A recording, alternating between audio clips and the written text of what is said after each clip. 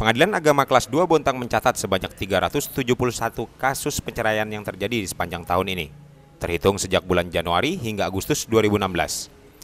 Hal ini diungkapkan Humas Pengadilan Agama Kota Bontang, Anton Taufik Hadianto, kepada Expos Kaltim saat ditemui di kantornya di Jalan Awang Long Bontang Baru pada Rabu kemarin.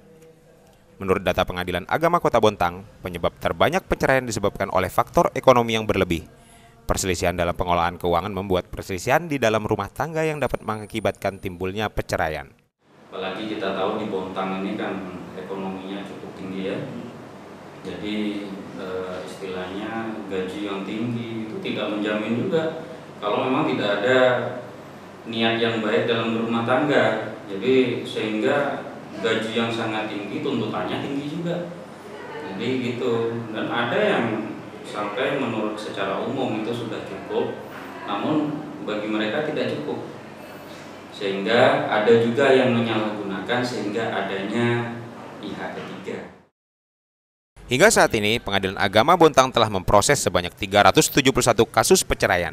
Adapun kategori perceraian yang terjadi hingga akhir Agustus 2016 tercatat 121 cerai talak dan 259 cerai gugat. Demikian Ekspos Kaltim melaporkan.